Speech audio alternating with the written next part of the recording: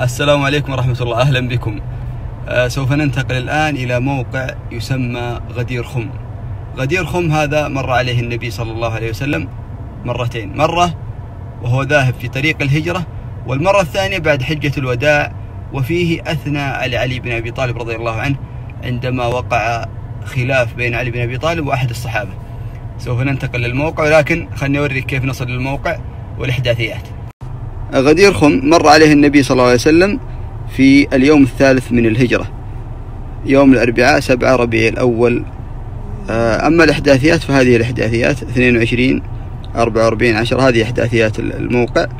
يبعد عن الكعبة 159 كيلو متر أما عن المنبر النبوي فهو يبعد 195 كيلو متر كيف نتعرف عليه؟ طبعا أنا جهزت الموقع لكن خليني بشرح لك على الجارمن كيف إنك ممكن تصل لذلك الموقع.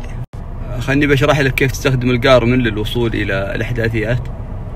إلى أين بعدين تأخذ الأحداثيات. ثم يجيك هنا الان طبعا هذه الأحداثيات أنا مسجلها. أو عفوا لا هذه أحداثيات ثانية لكن أو أحداثيات الموقع اللي أنا فيه.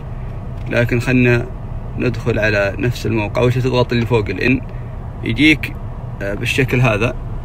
تعبيها أول شيء تكتب إن.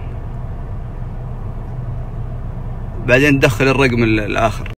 الآن عبينا الموقع. لو تلاحظ رقمين رقمين رقمين رقمين. طيب لو افترضنا جاء عندك في الأحداثيات أو في الموقع اللي انت تبحث فيه رقم واحد. يعني مثلا جاك 22 بعدين جاك أربعة بعدين فاصلة وهكذا كيف تعبيها؟ تكتب 22 بعدين أربعة بعدين صفر.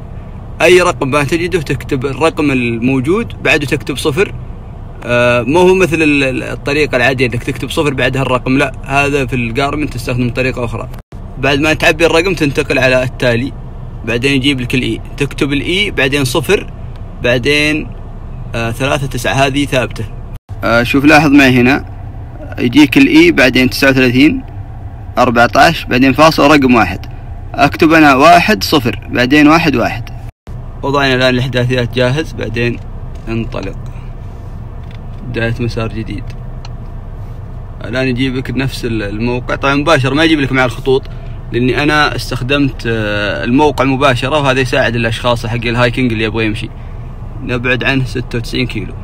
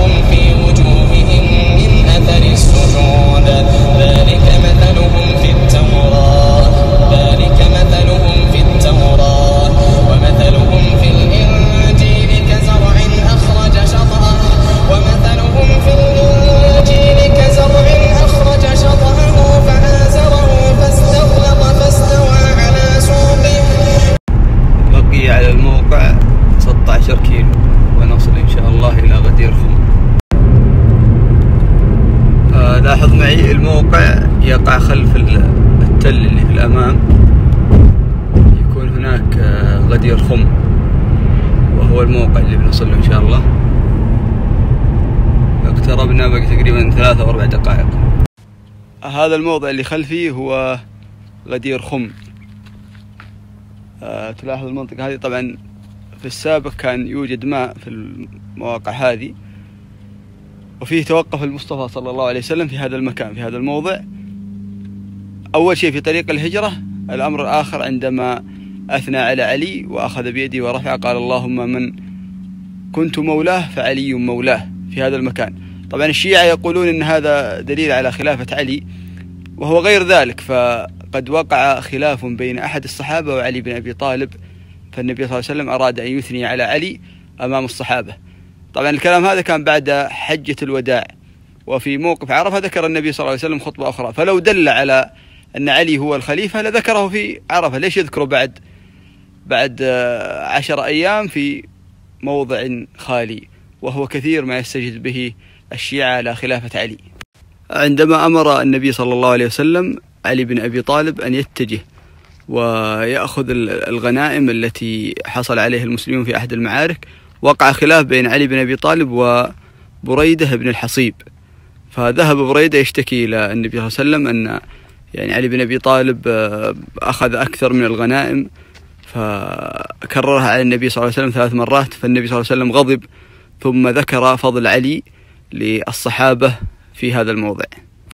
هذا المنظر كامل لموقع الغدير.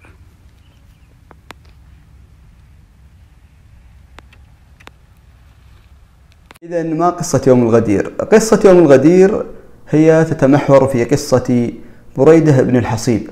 بريدة بن الحصيب هذا كان في جيش خالد بن الوليد وقد بعثهم النبي صلى الله عليه وسلم إلى اليمن. فعندما غزوا وانتصروا النبي صلى الله عليه وسلم اتجه إلى الحج حجة الوداع. ثم بعث علي بن أبي طالب يقسم الغنائم ومن ضمنها الخمس. المهم لما وصل علي وقسم الغنائم وقع بينه وبين بريدة خلاف. يقول بريدة كان فيه جفوة. فعلي بن أبي طالب بعد ما قسم الخمس وقع في نفس بريدة شيء فعندما عادوا والنبي صلى الله عليه وسلم من حجة الوداع وعندما وصلوا إلى غدير خم ذكر بريدة للنبي صلى الله عليه وسلم ما في نفسه من علي للنبي صلى الله عليه وسلم فقال له المصطفى صلى الله عليه وسلم أتبغض علي؟ فقال بريدة نعم. فقال النبي صلى الله عليه وسلم لا تبغضه. ثم ذكر فضائل علي بن أبي طالب. طبعا الشيعة يعتبرون أن هذا الموقف النبي صلى الله عليه وسلم عندما ذكر علي وفضله يعتبرونه من قواعد الدين.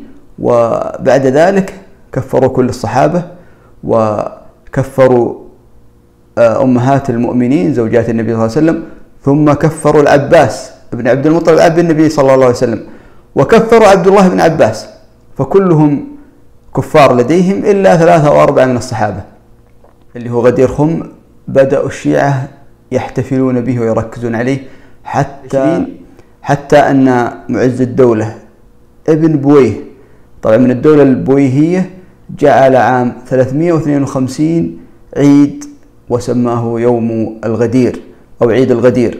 وإلى الآن يحتفلون بهذا العيد ويكررونه ويقولون أن في ذلك أن النبي صلى الله عليه وسلم أوصى بالخلافة لعلي مع أنه قبل ذلك كان حجة الوداع وفيها أنزل الله سبحانه وتعالى اليوم أكملت لكم دينكم وأتممت عليكم نعمتي ورضيت لكم الإسلام دينا.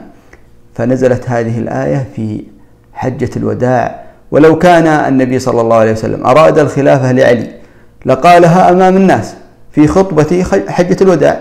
لكن ما ذكره إلا في الغدير عندما وقع خلاف بين علي بن أبي طالب وبريدة ابن الحصيب. والسؤال المهم أيهما أفضل الحسن أم الحسين؟